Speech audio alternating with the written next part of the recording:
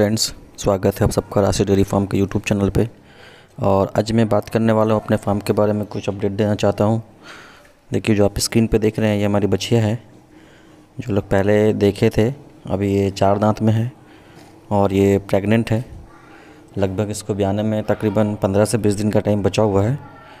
तो आप देख सकते हैं इस बच्चिया ने काफ़ी शानदार बॉडी स्ट्रक्चर बनाया है। और इसके थन की बनावट की बात की जाए तो वो भी काफ़ी शानदार जगह बना रही है, अभी देख सकते हैं आप स्क्रीन पे। मुझे लगता है कि अपने फ़र्स्ट लैक्टेशन में ये एक टाइम का पाँच से छः लीटर मिल्क निकाल मिल्क निकालने वाली है। ये हमारी साहिवाल क्रॉस बच्चिया है, जो हमने घर पे ही बच्चा तैयार किया है।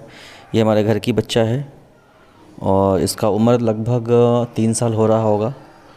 और इसके दांत की बात करें तो ये चार दांत में है और अपने फ़र्स्ट लैक्टेशन में ये प्रेग्नेंट है। तो देखिए ये किस तरह से अभी तैयार होती है और कितना मिल्क निकालती है ये, आगे भी आप लोगों को अपडेट मिलता रहेगा। कहना चाहूँगा, जो लोग हमारे चैनल पर फ़र्स्ट टाइम आए हैं, वो चैनल को सब्सक्राइब करें और साथ में बेल आइकन ज़रूर दबाएँ। वीडियो पसंद आए तो लाइक एंड शेयर करना ना भूलें।